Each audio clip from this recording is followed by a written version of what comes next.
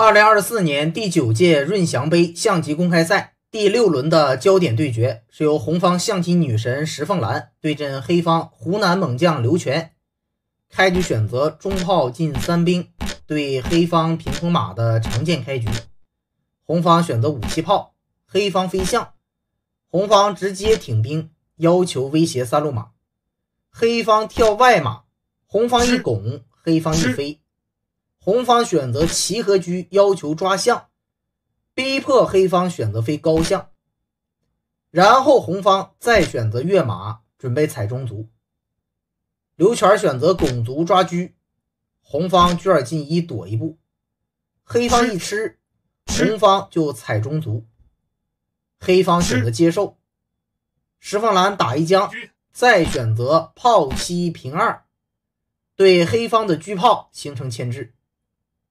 下到这这里，进入本局的关键点。黑方考虑落个象比较好啊，将来准备马二进四向前冲锋。如果红方马八进七，那黑方可以车一平三抓马抢先，再选择进车压住。下步棋准备马二进四强行跳进来，黑方足可抗衡，形势不错。那么实战呢？这个棋黑方走车一平四。看起来贴身车的好棋，但实际上是露出了一定的破绽。石凤兰选择炮五退一，设下陷阱。黑方这里不能进车，否则红方有车二平六，直接硬抓车。这边打着车杀棋，所以黑方必然会丢车。啊，这个棋呢，红方直接就速胜了。所以黑方此时只能走马二进三。红方先跳个马，那下到这里，黑方的车炮始终被牵，随时有各种闪击，非常的厉害。所以呢，黑方这里选择车八平七，也是一个不错的下法和选择。虽然会丢掉一个大子，但是呢，可以进车抓炮，要求抢先。为什么红方这里没有选择炮五进一呢？可能是担心黑方退车再抓，所以选择的是炮五退一。黑方横卒抓一手炮，再斩掉底象。虽然丢子，但是准备强烈反扑。红方不慌不忙，处理的非常到位。先简单出车。黑方虽然有进车抓炮的棋，但是红方有一个回车的妙手。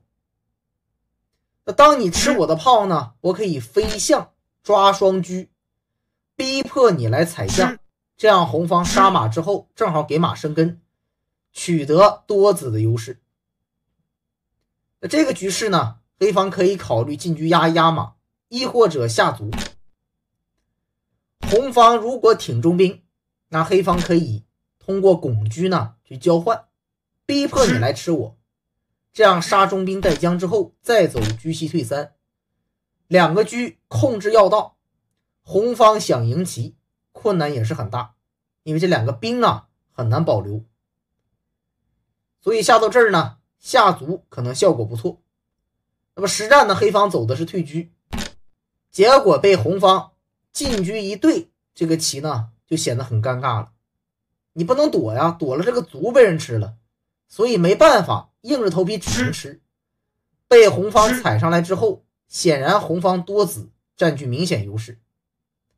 实战黑方选择平车，不让红方跳马，顽强的好棋。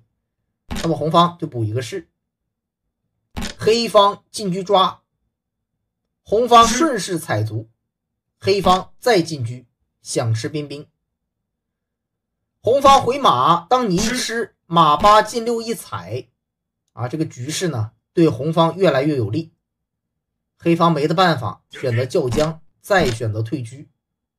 红方这里有一个车五平四的好棋，可能优势更大。那实战呢，走马六进四，自然也是红方优，也可行。黑方赶快站肋，这里叫将，黑方就出将抓底士，红方先补一个。那下到这里啊，双方很微妙。关键是红方的两个兵能不能保得住？能保住几个？这里黑方实战走了一个上将，其实是给红方设下了陷阱，红方不能来对车。乍一看呢，这个棋对车之后，红方剩下两个兵，那只要把这个边卒处理掉，红方马双兵就必胜。但是这个棋不行，那黑方此时可以下卒抓抓兵，抢一步，然后再拱边卒。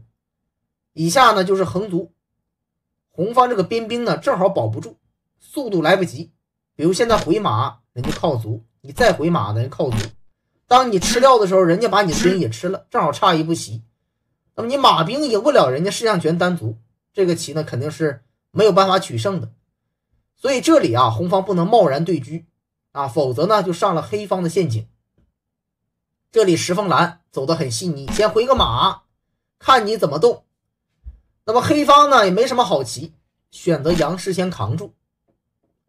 红方这里还是不能轻易对车，那把车对掉之后啊，这个边兵依然不好保留啊。黑方耗在这儿，所以呢转变思路，选择平车，准备叫将吃士。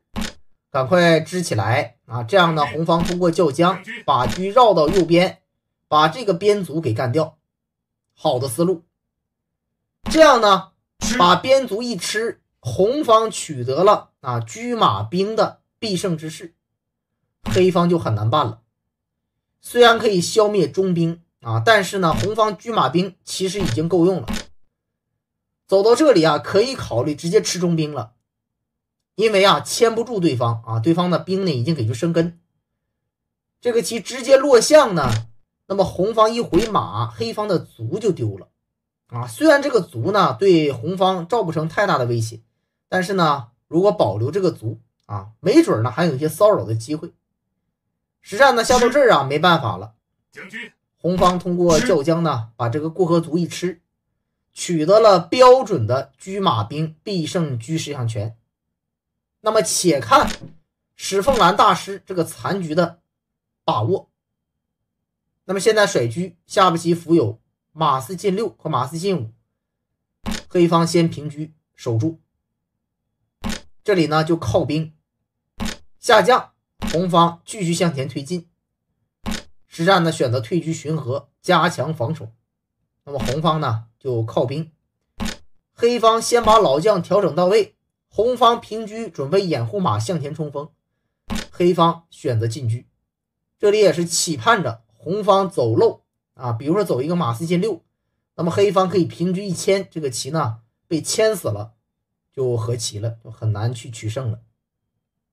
所以红方呢选择回马，再调整马位，然后呢选择站肋，再选择跳上去，不断的调整自己的车马兵的位置。这里选择平车底线叫抽，抽吃底士啊！这里赶快先防一手，平车再抓，然后横兵。那这里红方已经做好了兵呢冲下去的准备，黑方这里抬车，希望对方误走回马，还是有平车拉住的可能啊！这里呢，红方看到时机差不多了，就选择冲下去。黑方这里疯狂的抓呢，其实没用，只能是凑一下时间再平车，想退车抓兵。红方这里走一个顿挫，再来威胁一下，然后甩车过来，黑方只能再上士。红方有了车的掩护，这个兵呢就可以冲下去。当你抓我，我可以车一进二，掩护自己的兵强行往里冲，红方呢就有点顶不住了。实战选择落士，一冲兵。你平车抓马，我就回来，再冲兵啊，把兵呢冲杀进去。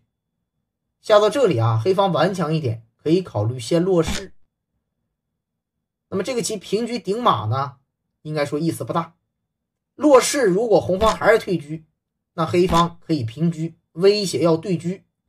如果红方不查，选择了平车，还想掩护马冲进去，那么黑方可以通过对车。这样呢，取得巧合的局势。回到这里，那么黑方这里啊，没有选择落士，而是选择平车抓啊，这棋呢就多走了一步棋。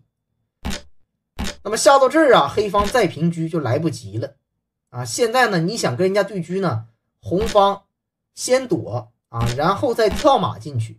下到这个局面呢，红方的车马兵基本到位黑方就已经防不住了。石善选择退车回来，石凤兰马四进三，直接卧槽马，下步棋福友直接拱底士，在平车的杀棋，黑方赶快落象掩护。那么红方呢，是发起了最后的总攻，直接撞底士，再平车将，黑方被迫平车来防，红方呢又横兵一将，再选择车六平八，锁定胜利。现在进车叫将是杀棋，没办法，黑方的中士又丢了，选择平车，红方简单一将，把中士一宰啊，奠定胜局。现在马上要回马杀。